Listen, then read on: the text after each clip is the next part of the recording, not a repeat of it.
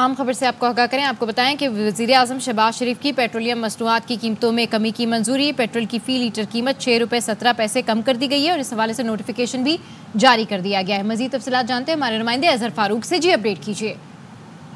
जी वजी अजम की मंजूरी के साथ ही डीजल की फ़ी लीटर कीमत में दस रुपए छियासी पैसे की कमी की गई है। पेट्रोल की फ़ी लीटर कीमत में छः रुपए सत्रह पैसे, जबकि मिट्टी की तेल की कीमत में छः रुपए बत्तीस पैसे की कमी की गई है।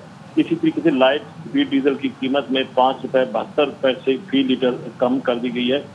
वज़ीर अजम की मंजूरी के बाद वजारत खजाना ने बाबा तौर पर नोटिफिकेशन जारी कर दिया है। नई कीमतों का जो इतलाक होगा, वो रात बारह बजे से होगा। ठीक है, अपडेट करने के लिए शुक्रिया आजर फारूक।